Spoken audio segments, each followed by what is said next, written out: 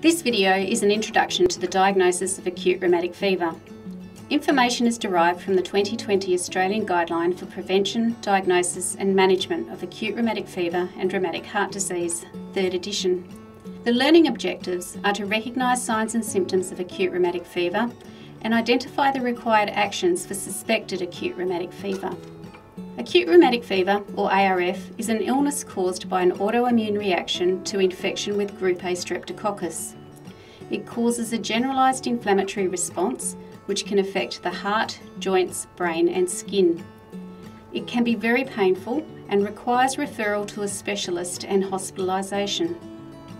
The damage to the heart valves caused by ARF is called rheumatic heart disease or RHD. ARF is most common in the 5 to 14 age group, but can occur in people aged into their 40s. ARF and RHD are notifiable diseases in New South Wales, South Australia, Queensland, Northern Territory and Western Australia. ARF and RHD are more common in girls.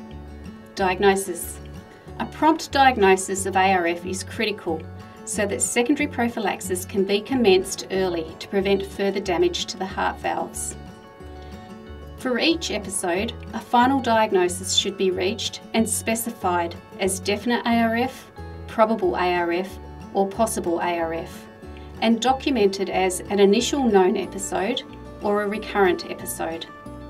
Suspected ARF is a term used until the diagnosis is confirmed or ruled out.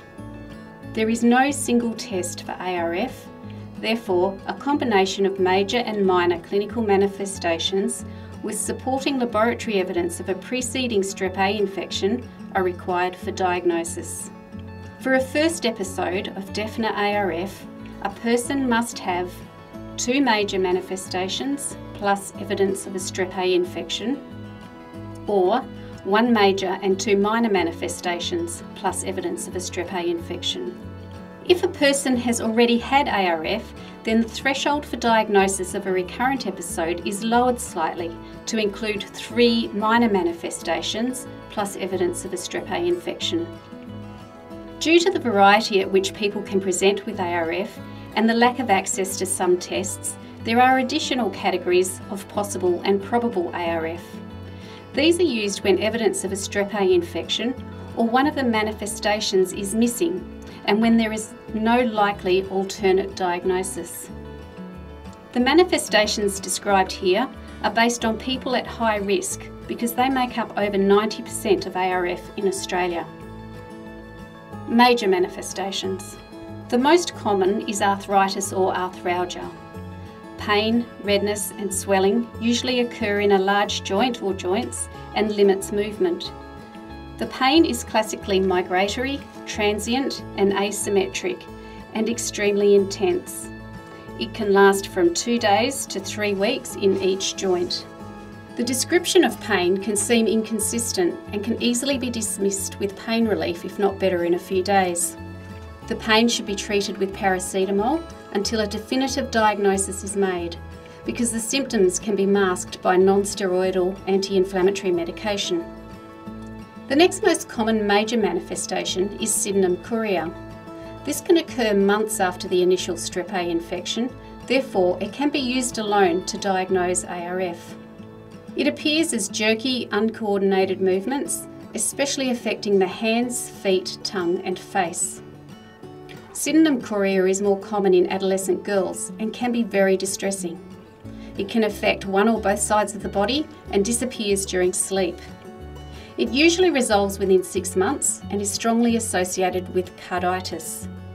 Generally, no treatment is required, but if it is interfering with daily activities or resulting in self-harm, anticonvulsant medication can be effective. Rheumatic carditis refers to the inflammation of valvular endocardium. It is often asymptomatic. It can occur up to two to six weeks after other manifestations of ARF, so the correlation with acute rheumatic fever can be missed.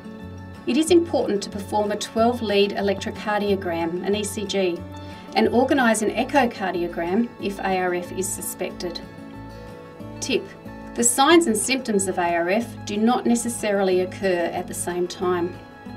Skin manifestations. Erythema marginatum and subcutaneous nodules are both rare in Australia. Erythema marginatum is a rash, not itchy or painful, which occurs as circular patterns of bright pink macules or papules on the trunk and proximal extremities. It can be difficult to see on dark skin.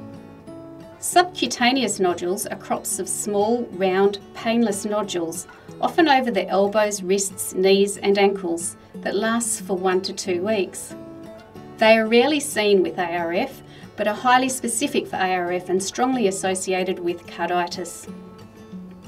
The minor manifestations may be more familiar to clinicians. A fever of 38 degrees C or higher can be transient. It often accompanies all manifestations except sydenham Monoarthralgia is a minor manifestation if joint pain hasn't been included as a major manifestation. A raised ESR, erythrocyte sedimentation rate, or CRP, C-reactive protein, and a prolonged PR interval on ECG counts as a minor manifestation if carditis is not included as a major manifestation. Evidence of a recent strep A infection is required to confirm a diagnosis of ARF.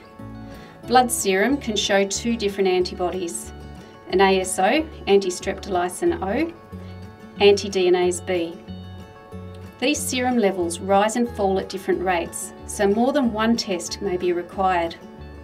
The diagnosis of ARF requires a high level of suspicion any of these should trigger a red flag for ARF. Carditis, polyarthralgia or polyarthritis, sydenham chorea, erythema marginatum, subcutaneous nodules. A fever and ESR or CRP higher than 30 or a prolonged PR interval or more advanced conduction abnormality. Tip. Listen to the patient and the family when they describe their symptoms. The significance for diagnosis of ARF may not be immediately apparent. Actions required for all people suspected to have ARF. Arrange hospitalisation within 24 to 72 hours. Contact the specialist paediatrician, physician or cardiologist to expedite admission to hospital. An echocardiogram, an ECG, bloods including FBC, FBE, ESR, CRP, ASOT, and anti-DNase B. Blood cultures if febrile. A throat or skin swab to culture for strep A before giving antibiotics. Use paracetamol for pain until diagnosis is confirmed. Contact the local RHD control program. Give benzathine benzylpenicillin to treat the strep A infection. Provide patient and family with culturally and age appropriate education about ARF and RHD. Tip Find contact details for jurisdiction RHD control programs and access to key information on the free ARF and RHD Guideline and Diagnosis Calculator app. Download for free from Google Apps or the App Store.